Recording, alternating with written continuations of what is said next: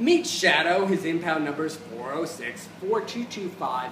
And Shadow is an incredibly well behaved seven year old neutered male poodle who was discarded at the Baldwin Park Animal Care Center today on September 30th because his former owner just couldn't provide the proper care for this incredibly easygoing guy.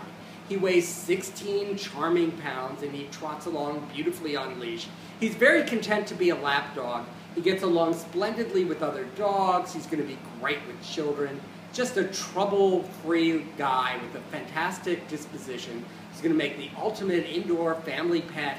He'll be great for a senior citizen as well. He's just so mellow, so low to medium energy. This is a bomb-proof, plug-and-play guy available for adoption to go home today from your good friends here at the Baldwin Park Animal Care Center.